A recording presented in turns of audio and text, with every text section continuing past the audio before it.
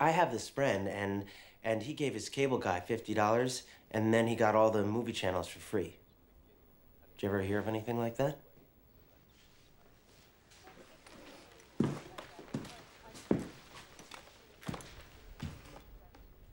You mean illegal cable? Um. Yeah. Who told you that? What is his name? I want it. Oh, forget it. You're offering me a bribe.